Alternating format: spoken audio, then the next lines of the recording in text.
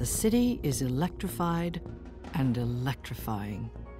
There's an explosion of nightlife, entertainment, and creative expression.